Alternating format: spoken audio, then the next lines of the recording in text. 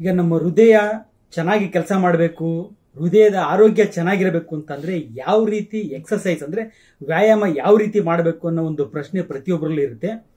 ಸಾಮಾನ್ಯವಾಗಿ ಹೇಳ್ತಾ ಇರ್ತಾರೆ ಜಾಗಿಂಗ್ ಮಾಡಿದ್ರೆ ಒಳ್ಳೇದು, ಮೆಟ್ಟಿಲ ಹತ್ತಿದ್ರೆ ಒಳ್ಳೇದು, ಹೃದಯಕ್ಕೆ ಒಳ್ಳೇದು, ಆಮೇಲೆ ಕಾರ್ಡಿಯೋ ಅಂತ ಹೇಳ್ಬಿಟ್ಟು ಜಿಮ್ಗಳಲ್ಲಿ ಮಾಡ್ತಾರಲ್ಲ, ಅದು ಹೃದಯಕ್ಕೆ ಒಳ್ಳೇದು ಅಂತ ಹೇಳ್ತಾ ಇರ್ತಾರೆ. ನೋಡಿ ಈಗ ಹಾರ್ಟ್ ಅಂತ ಹೇಳೋದಾದ್ರೆ, ಹೃದಯ ಅಂತ ಹೇಳೋದಾದ್ರೆ ಇದು ಮಜಲ್ ಅಂದ್ರೆ ಮಾಂಸಖಂಡಗಳಿಂದ ಆಗಿರತಕ್ಕಂಥದ್ದು. ಈ ಮಜಲ್ ಅಂತ ಹೇಳೋದಾದ್ರೆ ಎರಡು ರೀತಿಯ ಮಸಲ್ಗಳಿರುತ್ತೆ ನಮ್ಮ ದೇಹದಲ್ಲಿ. ಒಂದು ವಾಲಂಟ್ರಿ, ಇನ್ನೊಂದು ಇನ್ವಾಲಂಟ್ರಿ ಅಂತ ಹೇಳ್ಬಿಟ್ಟು. ಸೊ ವಾಲಂಟ್ರಿ ಅಂತ ಅಂದ್ರೆ ನಾನು ಏನು ಹೇಳ್ತೀನೋ ಆ ಕೆಲಸ ಮಾಡ್ತಾ ಇರುತ್ತೆ. ಉದಾಹರಣೆಗೆ ಕೈಲಿರ್ತಕ್ಕಂಥ ಮಾಂಸಖಂಡಗಳು, ಕಾಲಲ್ಲಿರ್ತಕ್ಕಂಥ ಮಸಲ್ ಮಾಂಸಖಂಡಗಳು, ಇವು ನಾವು ಏನು ಹೇಳ್ತೀವೋ ಆ ಕೆಲಸ ಮಾತ್ರ ಮಾಡ್ತಾ ಇರ್ತವೆ.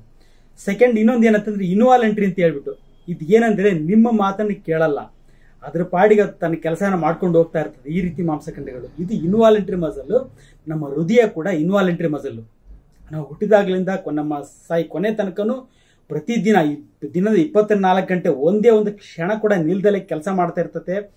ನಿಮ್ಮ ಮಾತನ್ನ ಕೇಳಲ್ಲ ಅದು. ಬಿಡಿಯೋದು ನಿಲ್ಲಿಸು ಅಥವಾ ಜಾಸ್ತಿ ಮಾಡಿದ್ರೆ ಆ ಮಾತು ಕೇಳಲ್ಲ. ನಿಮ್ಮ ಮಾತನ್ನು ಕೇಳಲ್ಲ. ಹಾಗೆ ನಿಮ್ಮ ಡಾಕ್ಟ್ರೇ ಯಾರಿದಾರಲ್ಲ ಅವ್ರ ಮಾತನ್ನು ಕೇಳಲ್ಲ. ಯಾವುದೇ ಒಂದು ಕಾರ್ಡಿಯಾಲಜಿಸ್ಟ್ ಮಾತನ್ನು ಕೂಡ ಕೇಳಲ್ಲ. ಅದ್ರ ಪಾಡಿಗೆ ಅದು ತನ್ನ ಕೆಲಸನ ಮಾಡ್ಕೊಂಡು ಹೋಗ್ತಾ ಇರುತ್ತೆ.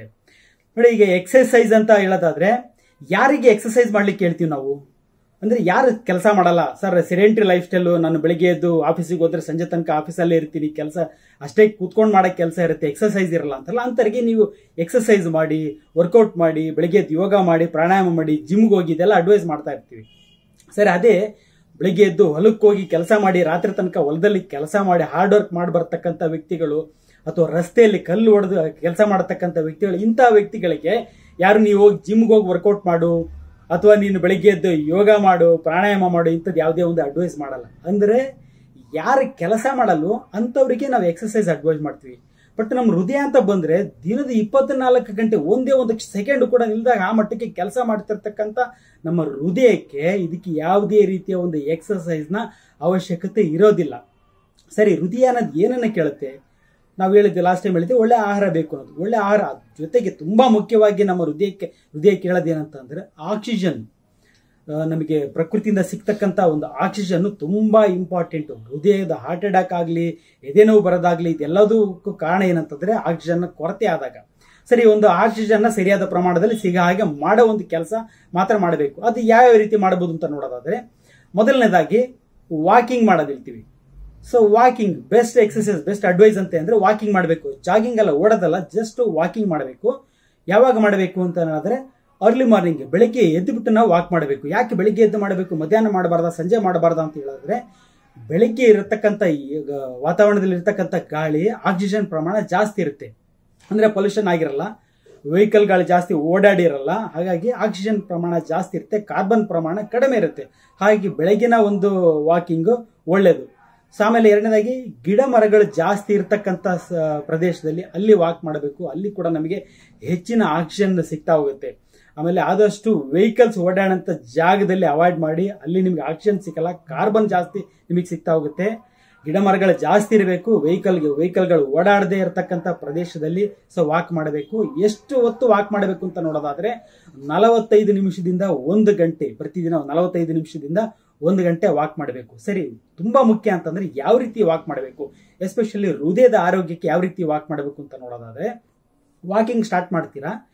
ನಿಧಾನಕ್ಕೆ ವಾಕ್ ಮಾಡ್ತಾ ಹೋಗಿ, ಕ್ರಮೇಣ ಬರ್ತಾ ಬರ್ತಾ ಬರ್ತಾ ನಿಮ್ಮ ವಾಕಿಂಗ್ ಸ್ಪೀಡ್ ಅನ್ನ ಸ್ವಲ್ಪ ಜಾಸ್ತಿ ಮಾಡ್ತಾ ಹೋಗಿ. ಅಂದ್ರೆ ನಿಧಾನಕ್ಕೆ ವಾಕ್ ಮಾಡ್ತಾ ಇದ್ದರೆ ಬ್ರಿಸ್ಕ್ ವಾಕ್ ಅಂದ್ರೆ ಫಾಸ್ಟ್ ಆಗಿ ವಾಕ್ ಮಾಡ್ಲಿಕ್ಕೆ ಸ್ಟಾರ್ಟ್ ಮಾಡಬೇಕು. ಎಲ್ಲಿವರೆಗೂ ಫಾಸ್ಟ್ ಆಗಿ ವಾಕ್ ಮಾಡಬೇಕು? ಯಾವಾಗ ನಿಮಗೆ ಹೃದಯ ಬಡಿತ ಜಾಸ್ತಿ ಆಗ್ತಾ ಅನಿಸ್ತಾ, ಅನಿಸ್ಲಿಕ್ಕೆ ಸ್ಟಾರ್ಟ್ ಆಗುತ್ತೆ ಪಾಲ್ಪಿಟೇಷನ್ ಹೃದಯ ಬಡಿತ ನಿಮಗೆ ಫೀಲ್ ಆಗಲಿಕ್ಕೆ ಸ್ಟಾರ್ಟ್ ಆಗುತ್ತೆ, ಅಲ್ಲಿವರೆಗೂ ಸ್ವಲ್ಪ ಬ್ರಿಸ್ಕ್ ವಾಕಿಂಗ್ ಅಂದರೆ ಫಾಸ್ಟ್ ಆಗಿ ವಾಕ್ ಮಾಡ್ಲಿಕ್ಕೆ ಮಾಡಿ. ನಿಮಗೆ ಪಾಲ್ಪಿಟೇಷನ್ ಅಂದರೆ ಹೃದಯ ಬಡಿತ ನಿಮಗೆ ಫೀಲ್ ಆಗ್ತಿದೆ ಅಂತ ಗೊತ್ತಾದ ತಕ್ಷಣ, ಹೃದಯ ಬಡಿತ ಜಾಸ್ತಿ ಆಗ್ತಿದೆ ಅಂತ ಗೊತ್ತಾದ ತಕ್ಷಣನೇ ವಾಕಿಂಗನ್ನು ಸ್ಲೋ ಮಾಡ್ತಾ ಹೋಗಿ. ಸ್ಲೋ ಮಾಡಿ, ಎಲ್ಲಿ ತನಕ ಸ್ಲೋ ನಿಧಾನಕ್ಕೆ ಆದಷ್ಟು ಎಷ್ಟು ನಿಧಾನ ಅಷ್ಟು ನಿಧಾನವಾಗಿ ನಡೀತಾ ಹೋಗಿ. ಎಲ್ಲಿವರೆಗೂ ನಿಮ್ಮ ಹಾರ್ಟ್ ರೇಟ್ ನಾರ್ಮಲ್ ಆಗಿದೆ ಅಂತ ನಿಮಗೆ ಅನಿಸೋವರೆಗೂ ಸೊ ಮತ್ತೆ ಹಾರ್ಟ್ ರೇಟ್ ನಾರ್ಮಲ್ ಆದ್ಮೇಲೆ ಮತ್ತೆ ನಿಮ್ಮ ವಾಕಿಂಗ್ ಸ್ಪೀಡ್ ಅನ್ನು ಇನ್ಕ್ರೀಸ್ ಮಾಡ್ತಾ ಹೋಗಿ, ಜಾಸ್ತಿ ಮಾಡಿ ಸ್ಪೀಡ್ ಅನ್ನ ಮತ್ತೆ ಕಮ್ಮಿ ಮಾಡಿ, ಮತ್ತೆ ಜಾಸ್ತಿ ಮಾಡಿ ಕಡಿಮೆ ಮಾಡಿ. ಈ ಒಂದು ರೀತಿಯ ವಾಕ್ ಮಾಡೋದ್ರಿಂದ ನಿಮ್ಮ ಹೃದಯಕ್ಕೆ ಒಂದು ಒಳ್ಳೆ ಎಕ್ಸರ್ಸೈಸ್ ಕೂಡ ಆಗುತ್ತೆ. ಜೊತೆಗೆ ಒಳ್ಳೆ ಆಕ್ಸಿಜನ್ ಕೂಡ ಸಿಗ್ತಾ ಹೋಗುತ್ತೆ ನಿಮಗೆ.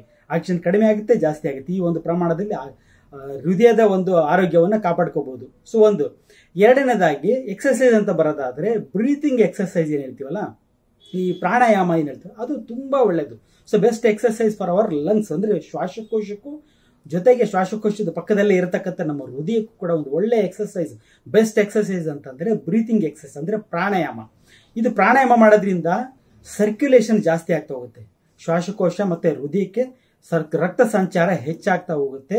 ಈ ರಕ್ತ ಸಂಚಾರ ಹೆಚ್ಚಾಗೋದ್ರ ಜೊತೆಗೆ ಈ ಆಂಜೈನಾ ಅಂತ ಏನು ಹೇಳ್ತೀವಿ. ಅಂದರೆ ಸ್ವಲ್ಪ ದೂರ ನಡೆದ್ರೆ ಎದೆ ನೋವು ಬರುತ್ತೆ ಅಂತ ಹೇಳ್ಬಿಟ್ಟು ಕೆಲವರು ಹೋಗ್ಬಿಟ್ಟು ಹಾಸ್ಪಿಟಲಲ್ಲಿ ಸ್ಕ್ಯಾನಿಂಗ್ ಮಾಡಿಸ್ಬಿಟ್ಟು ನಿಮಗೆ ಆಂಜೈನ ಇದೆ, ತೊಂದರೆ ಇದೆ, ಅದು ಮುಂದೆ ನಿಮಗೆ ತೊಂದರೆ ಕೊಡ್ಬೋದು ಹಾರ್ಟ್ ಅಟ್ಯಾಕ್ ಆಗ್ಬೋದು ಅಂತ ಏನು ಹೇಳ್ತಾರಲ್ಲ, ಅಂತ ಒಂದು ಕಾಯಿಲೆನ ಸಂಪೂರ್ಣವಾಗಿ ನಾವು ಈ ಒಂದು ಬ್ರೀತಿಂಗ್ ಎಕ್ಸರ್ಸೈಸಿಂದ ಗುಣಪಡಿಸ್ಬೋದು. ಸಾಮಾನ್ಯವಾಗಿ ಹಾಸ್ಪಿಟ್ಲಿಗೆ ಹೋಗ್ಬಿಟ್ಟು ನೀವು ಎದೆ ನೋವು ಅಂತ ಚೆಕ್ ಮಾಡಿಸಿದ್ರೆ ಚೆಕ್ ಮಾಡಿಬಿಟ್ಟು ಇಲ್ಲ ನಿಮಗೆ ಆಂಜನ ಇದೆ, ಮುಂದೆ ತೊಂದರೆ ಆಗ್ಬೋದು, ಇದಕ್ಕೆ ಸರ್ಜರಿ ಮಾಡಿಸ್ಬೇಕು, ಹಾಗೆ ಹೀಗೆ ಅಂತ ಹೇಳ್ತಾ ಇರ್ತಾರೆ. ನನ್ನಲ್ಲಿ ಒಂದು ಪೇಷಂಟ್ ಇದೆ, ಸಾವಿರದ ಒಂಬೈನೂರ ತೊಂಬತ್ತಿ ಎರಡರಲ್ಲಿ ಸ್ಟಾರ್ಟ್ ಆಗಿ ಅವರಿಗೆ ಇದು ಅವಾಗ ಒಂದು ಡಯಾಗ್ನೋಸ್ ಆಗಿ ಆಂಜೈನಾ ಅಂತ ಡಯಾಗ್ನೋಸ್ ಆಗಿ ಆಪರೇಷನ್ ಮಾಡಬೇಕು ಅಂತ ಹೇಳಿದಂಥ ಒಂದು ಪೇಷಂಟು ಬಟ್ ಇಲ್ಲಿವರೆಗೂ ನಿನ್ನೆ ಬಂದಿದ್ರು. ಇವತ್ತಿನವರೆಗೂ ತುಂಬ ಆರೋಗ್ಯವಾಗಿದ್ದಾರೆ. ಬಟ್ ಯಾವುದೇ ರೀತಿಯ ಒಂದು ಆಪರೇಷನ್ ಮಾಡಿಸ್ಕೊಂಡಿಲ್ಲ. Life simple lifestyle modification ಮಾಡಿಕೊಂಡು ಆರೋಗ್ಯವಾಗಿದ್ದಾರೆ. ಅಂದರೆ ಯಾವುದೇ ರೀತಿಯ ಒಂದು ಆಪರೇಷನ್ ಅವಶ್ಯಕತೆ ಇರೋದಿಲ್ಲ. ಸೊ ಮೂರನೇದು ಏನಂತಂದ್ರೆ ಸೂರ್ಯ ನಮಸ್ಕಾರ ಮಾಡೋದು. ಸೂರ್ಯ ನಮಸ್ಕಾರ ಯಾವ ರೀತಿ, ಇದು ಯಾವ ರೀತಿ ಬೆನಿಫಿಟ್ ಕೊಡುತ್ತೆ ಅನ್ನೋದಾದ್ರೆ, ಇದು ಸೂರ್ಯ ನಮಸ್ಕಾರದಲ್ಲಿ ನಾವು ಬ್ರೀತಿಂಗ್ ಅನ್ನು ಕಂಟ್ರೋಲ್ ಮಾಡ್ತೀವಿ. ಅಂದ್ರೆ ಕಂಟ್ರೋಲ್ಡ್ ಬ್ರೀತಿಂಗ್ ಇರುತ್ತೆ. ಥ್ರೂಔಟ್ ದಿ ಪ್ರೊಸೀಜರ್ ಸೂರ್ಯ ನಮಸ್ಕಾರದಲ್ಲಿ, ಅದು ಕೂಡ ರಕ್ತ ಸಂಚಾರನ ಹೆಚ್ಚು ಮಾಡಿಬಿಟ್ಟು, ಶ್ವಾಸಕೋಶಕ್ಕೆ ಮತ್ತೆ ಹೃದಯದ ರಕ್ತ ಸಂಚಾರನ ಹೆಚ್ಚು ಮಾಡಿಬಿಟ್ಟು ನಮಗೆ ಹೃದಯಕ್ಕೆ ತೊಂದರೆ ಆಗೋದನ್ನು ತಡೆಗಟ್ಟುತ್ತೆ. ನೆಕ್ಸ್ಟ್ ನಾಲ್ಕನೇದಾಗಿ ನೋಡೋದಾದ್ರೆ, ತುಂಬಾನೇ ಮುಖ್ಯ ಸ್ಟೇ ಆಕ್ಟಿವ್ ಹೋಲ್ ಡೇ ಅಂತ ಹೇಳ್ತೀನಿ ನಾನು. ಅಂದರೆ ದಿನದ ಬೆಳಗ್ಗೆ ಎದ್ದರೆ ನೀವು ರಾತ್ರಿವರೆಗೂ ಆಕ್ಟಿವ್ ಆಗಿರಬೇಕು. ಅಂದರೆ ಬೆಳಗ್ಗೆ ಎದ್ದೆ ನಾನು ಒಂದು ಗಂಟೆ ವಾಕಿಂಗ್ ಮಾಡಿ ಬಂದೆ, ಬಂದ ನಂತರ ನಾನು ಆಫೀಸಿಗೆ ಹೋದೆ ಆಫೀಸಲ್ಲಿ ಬೆಳಗ್ಗೆಯಿಂದ ಸಂಜೆ ತನಕ ಕೂರ್ತೀನಿ. ಇದೇ ಆ್ಯಕ್ಚುಲಿ ಈಗಿರೋದು ಬಟ್ ಅದಲ್ಲ, ಬೆಳಿಗ್ಗೆ ಎದ್ದ ರಾತ್ರಿ ತನಕ ಓಡಾಡಿಕೊಂಡು ಮಾಡತಕ್ಕಂಥ ಸ ಕೆಲಸ. ಆಕ್ಟಿವಿಟೀಸ್ ಎದ್ದ ರಾತ್ರಿ ಮಲಗೋವರೆಗೂ ನಾನು ಆಕ್ಟಿವ್ ಆಗಿರಬೇಕು. ಇದು ಬೆಸ್ಟ್ ಎಕ್ಸಸೈಸ್ ಯಾವ ಎಕ್ಸಸೈಸ್ ಜನರಿಗೆ ನಮಗೆ ಹೃದಯಕ್ಕೆ ಒಳ್ಳೇದಂತಂದ್ರೆ ಆಕ್ಟಿವ್ ಆಗಿರೋದು. ಬೆಳಗ್ಗೆಯಿಂದ ರಾತ್ರಿ ತನಕ ನಾನು ಕೆಲಸದಲ್ಲಿ ಆಕ್ಟಿವ್ ಆಗಿರೋದು ಅದೇ ಬೆಸ್ಟ್ ಎಕ್ಸಸೈಸ್ ಹೀಗೆ ಏನಾಗಿದೆ? ಆನ್ಲೈನ್ ಶಾಪಿಂಗ್ ಏನು ರೇಷನ್ ಬೇಕಾ? ಮನೆಗೆ ಬರುತ್ತೆ. ತರಕಾರಿ ಬೇಕಾ? ಮನೆಗೆ ಬರುತ್ತೆ. ಸೊಪ್ಪು ಬೇಕಾ? ಮನೆಗೆ ಬರುತ್ತೆ. ಏನೇ ಒಂದು ಸಣ್ಣ ವಸ್ತು ಬೇಕು ಅಂತಂದ್ರು ಆನ್ಲೈನ್ ಆರ್ಡರ್ ಮಾಡಿದ್ರೆ ಮನೆಗೆ ಬರುತ್ತೆ. ಏನಾಗಿದೆ? ನಾವು ಎದ್ದು ಹೋಗ್ಬಿಟ್ಟು ಅಂಗಡಿಗೆ ಹೋಗಿ ತರೋದನ್ನೇ ನಿಲ್ಲಿಸ್ಬಿಟ್ಟಿದ್ದೀವಿ. ಇದು ಒಂದು ರೀತಿ ಎಕ್ಸಸೈಸ್ ನಾವು ಹೊರಗಡೆ ಹೋಗಿ ಏನೋ ತೊಗೊಂಬರ್ತೀನಿ ಅಂತಂದ್ರೆ ಅದು ಕೂಡ ಒಂದು ಒಳ್ಳೆ ಎಕ್ಸಸೈಸ್ ಆಗಿರುತ್ತೆ. ಇದು ಬರೇ ಸಿಟಿಲಿ ಅಷ್ಟೇ ಅಲ್ಲ, ಈಗ ಆಲ್ರೆಡಿ ಹಳ್ಳಿಗಳಲ್ಲೂ ಈ ಆನ್ಲೈನ್ ಶಾಪಿಂಗ್ ಅನ್ನೋದು ಶುರು ಆಗ್ಬಿಟ್ಟಿವೆ ಹಾಗಾಗಿ ಹಳ್ಳಿನಲ್ಲೂ ಕೂಡ ಈಗ ಅವರ ಆರೋಗ್ಯ ಹದಗೆಡ್ತಾ ಇರೋದು, ಹೃದಯಾಘಾತ ಅಲ್ಲಿ ಹೆಚ್ಚಾಗ್ತಿರೋದಕ್ಕೆ ಕಾರಣ ಇದು ಒಂದು. ಇನ್ನು ಸಿಟಿನಲ್ಲಿ ಕೆಲಸದವ್ರು ಮನೆಯಲ್ಲಿ ಅಂತಂದರೆ ಮನೆ ಕೆಲಸದವ್ರು ಇರ್ತಾರೆ. ಅವ್ರಲ್ಲಿ ಯಾವ ರೀತಿ ಮಾಡ್ತಾರೆ ಅಂದರೆ ಮನೆ ಕೆಲಸದವ್ರು ಇದ್ದಾರೆ ಅಂದರೆ ಯಾವ ರೀತಿ ಆಗ್ಬಿಡ್ತಾ ಆ ಮನೆಗಳಲ್ಲಿ ಅಂತಂದ್ರೆ ಒಂದು ಗ್ಲಾಸ್ ನೀರು ಬೇಕು ಅಂತಂದ್ರೆ ನಾನು ಏನೋ ಕೆಲಸ ಮಾಡ್ತಿರ್ತೀನಿ, ಕೆಲಸದವ್ರಿಗೆ ಹೇಳ್ತೀನಿ. ನೀರು ತಂದುಕೊಡಿ ಒಂದು ಗ್ಲಾಸು, ಅಥವಾ ಕಾಫಿ ತಂದುಕೊಡಿ ಒಂದು ಗ್ಲಾಸು, ಅಥವಾ ಒಂದು ಕೂತಲ್ಲೇ ಇಲ್ಲಿ ಊಟ ತಂದುಕೊಡಿ ಅಂತ ಕೇಳ್ತಾ ಇರ್ತೀವಿ. ನೋಡಿ, ನಾನು ಎದ್ದು ಹೋಗಿ ತೊಗೊಂಬರ್ತೀನಿ, ಒಂದು ಗ್ಲಾಸ್ ನೀರು ತೊಗೊತೀನಿ ಅಂತಂದ್ರೆ ಅದೇ ಒಂದು ಒಂದು ಒಳ್ಳೆ ಎಕ್ಸಸೈಸ್ ಏನೋ ಕೆಳಗೆ ಬಿದ್ದಿದ್ದ ವಸ್ತುವನ್ನ ಬೇರೆಯವ್ರಿಗೆ ಎತ್ತಿಡು ಅಂತ ಹೇಳೋದ್ರ ಬದಲು ನಾನೇ ಅದನ್ನ ಕೆಲಸ ಮಾಡಿದ್ರೆ ಅದೇ ಒಂದು ಬೆಸ್ಟ್ ಎಕ್ಸಸೈಸ್ ಅಂದ್ರೆ ಸಣ್ಣ ಸಣ್ಣ ನೋಡಲಿಕ್ಕೆ ಸಣ್ಣ ಸಣ್ಣ ಕೆಲಸ ಅಂತ ಅನಿಸ್ಬೋದು ಬಟ್ ಆದರೆ ಅವೇ ನಮ್ಮ ಒಂದು ಆರೋಗ್ಯವನ್ನು ಕಾಪಾಡ್ಕೊಳ್ಳೋದು.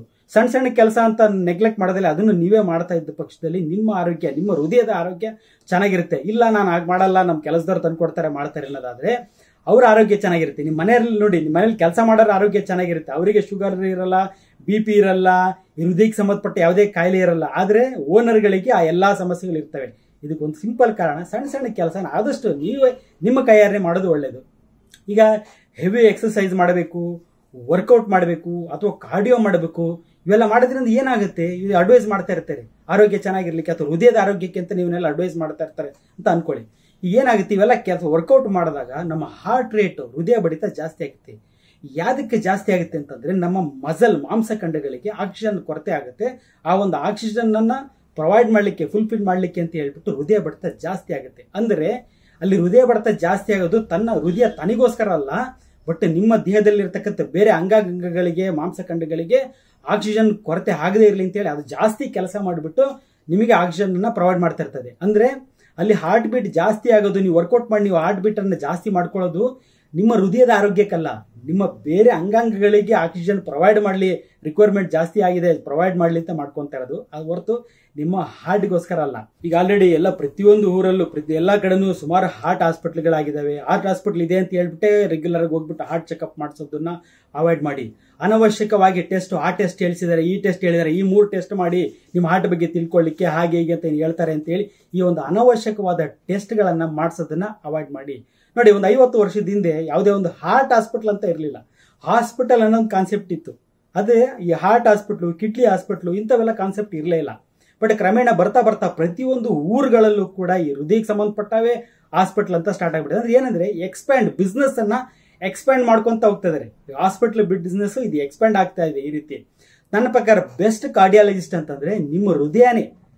ಪ್ರತಿ ಒಂದು ಕ್ಷಣನ ನಿಲ್ಲದಲ್ಲೇ ಕೆಲಸ ಮಾಡ್ತಕ್ಕಂಥ ಇಪ್ಪತ್ನಾಲ್ಕು ಗಂಟೆ ಕೆಲಸ ಮಾಡ್ತಕ್ಕಂಥ ಹೃದಯನೇ ನಿಮಗೆ ಬೆಸ್ಟ್ ಕಾರ್ಡಿಯಾಲಜಿಸ್ಟ್ ಆಗಿ ಕೆಲಸ ಮಾಡುತ್ತೆ. ಬಟ್ ನಾವು ಮಾಡಬೇಕಾಗಿರೋದೇನು? ನಮ್ಮ ಆರೋಗ್ಯಕ್ಕೆ ಕಾಪಾಡ್ಕೊಳ್ಳೋ ಕೆಲಸ ಮಾಡಬೇಕು. ಯಾಕಂತಂದ್ರೆ, ಹೃದಯ ಯಾವಾಗ ಅದು ಕೆಲಸ ಹೆಚ್ಚು ಕಡಿಮೆ ಆಗುತ್ತೆ ಅಂತಂದ್ರೆ, ನಮ್ಮ ದೇಹದಲ್ಲಿ ಆರೋಗ್ಯ ಏರುಪೇರಾದಾಗ, ನೋಡಿ ವರ್ಕೌಟ್ ಮಾಡಿದ್ವಿ, ಅಲ್ಲಿ ಆಕ್ಸಿಜನ್ ಜಾಸ್ತಿ ಬೇಕು ಅಂತ ಹೇಳ್ಬಿಟ್ಟು ಹೃದಯ ಬಡಿತ ಜಾಸ್ತಿ ಆಗುತ್ತೆ. ಹಾಗೆ ಬೇರೆ ಏನೋ ನನಗೆ ತೊಂದರೆ ಇದೆ, ಆರೋಗ್ಯದಲ್ಲಿ ಏರುಪೇರಿದೆ ಅಂತ ಅಂದಾಗ, ಅವಾಗ ಹೃದಯದ ಕೆಲಸನೂ ಕೂಡ ಏರ್ಪೇರಾಗುತ್ತೆ. ಹಾಗಾಗಿ ಹೃದಯ ಆರೋಗ್ಯವಾಗಿರಬೇಕು ನಂದು ಅಂತಂದ್ರೆ ಬೆಸ್ಟ್ ಎಕ್ಸಸೈಸ್ ಅನ್ನೋದಕ್ಕಿಂತ ಹೆಚ್ಚಾಗಿ ನಮ್ಮ ಆರೋಗ್ಯ ಜನರಲೈಸ್ ಜನರಲ್ ಆಗಿ ನಮ್ಮ ಆರೋಗ್ಯವನ್ನು ಕಾಪಾಡಿಕೊಂಡ ಪಕ್ಷದಲ್ಲಿ ಹೃದಯ ಕೂಡ ಆರೋಗ್ಯವಾಗಿರುತ್ತೆ. ಅದಕ್ಕೆ ಅಂತ ಯಾವುದೇ ಒಂದು ಎಕ್ಸಸೈಸ್ ಮಾಡೋ ಒಂದು ಅವಶ್ಯಕತೆ ಇಲ್ಲ. ನಾನು ಹೇಳಿದಾಗೆ ಒಂದು ವಾಕಿಂಗ್ ಅನ್ನ ಮಾಡ್ತಾ ಹೋಗಿ, ಆಮೇಲೆ ಬ್ರೀತಿಂಗ್ ಎಕ್ಸಸೈಸ್ ಅಂದ್ರೆ ಪ್ರಾಣಾಯಾಮ ಮಾಡ್ತಾ ಹೋಗಿ ಸೂರ್ಯ ನಮಸ್ಕಾರ ಮಾಡಿ ಜೊತೆಗೆ ಬೆಳಿಗ್ಗೆಯಿಂದ ರಾತ್ರಿ ತನಕ ಆ್ಯಕ್ಟಿವ್ ಆಗಿದ್ರೆ ಅಷ್ಟೇ ಸಾಕು. ಇದಿಷ್ಟು ಹೃದಯದ, ಹೃದಯಕ್ಕೆ ಸಂಬಂಧಪಟ್ಟಾಗಿ ಯಾವ ಎಕ್ಸಸೈಸ್ ಮಾಡಬೇಕು ಅಂತ ಹೇಳ್ಬಿಟ್ಟು ಇನ್ನಷ್ಟು ಹೃದಯಕ್ಕೆ ಸಂಬಂಧಪಟ್ಟ ವಿಡಿಯೋಗಳನ್ನ ಮಾಡ್ತಾ ಹೋಗ್ತೀನಿ. ನಗ್ನಗ್ತಾ ಇರಿ ಆರೋಗ್ಯವಾಗಿರ್ರಿ. ನಮಸ್ಕಾರ.